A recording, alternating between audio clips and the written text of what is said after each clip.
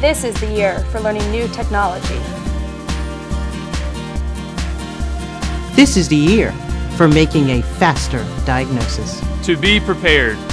To get back in the game. This is the year for saving lives. 2013 is the year of ultrasound. Find out how you can help advance ultrasound education at www.ultrasound2013.org.